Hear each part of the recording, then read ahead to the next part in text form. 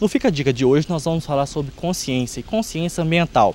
Varginha passou na semana passada, na sexta-feira mais especificamente, por falta de água em alguns bairros. Por quê? o nível do Rio Verde está muito baixo e aí a Copasa teve dificuldades no abastecimento de alguns bairros aqui da cidade. Então nós vamos falar com a Rosângela Crepe, que é analista administrativa aqui da Copasa, para ela dar algumas dicas para a gente né, e falar como as pessoas podem utilizar melhor a água. Então, Rosângela, eu falei do, da falta de abastecimento na semana passada aqui em Varginha, que foi na sexta-feira. O que, que aconteceu de fato?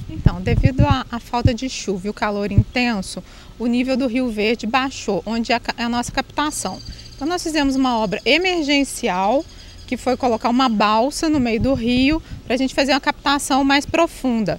E com essa com a execução dessa obra, nós conseguimos no domingo restabelecer os pontos de desabastecimento, que são aproximadamente sim, 50 bairros da cidade. Isso tem acontecido no Brasil inteiro, né? A chuva está muito escassa, né? A gente está tendo esse problema no Brasil inteiro. E quais são as dicas que você dá, assim, para que a Copasa, né, tenha mais facilidade, não se gaste tanta água nesse período e as pessoas tenham essa consciência ambiental mesmo de utilizar a água de forma correta? Então, os banhos né, podem ser mais rápidos, checar se na sua casa não tem nenhum vazamento, que você pode é, fechar todos os registros e verificar o hidrômetro.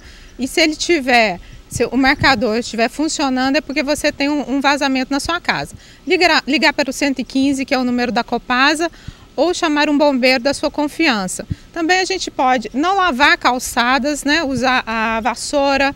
Para regar a sua planta, você pode usar um regador e para lavar carro também você pode usar um balde ao invés de uma mangueira.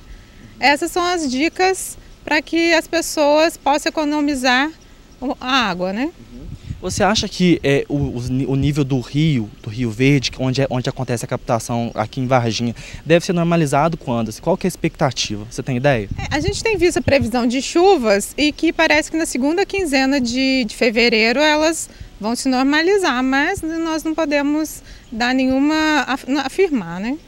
Então por isso que as pessoas devem utilizar essas dicas para que não aconteça esse desabastecimento de novo. É, para economizar água, né? Tá certo. Então, quem deu as dicas para a gente foi a Rosângela Crepe, que é analista administrativa aqui da Copasa em Varginha. Agnaldo Monteiro para o Jornal Cidade.